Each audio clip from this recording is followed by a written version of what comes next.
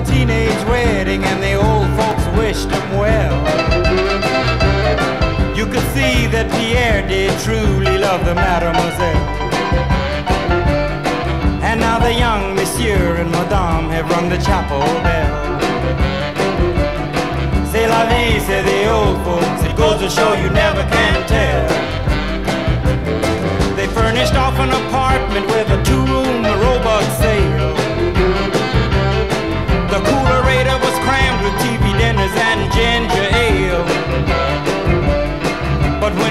found work, the little money coming worked out well. C'est la vie, say the old folks. It to show you.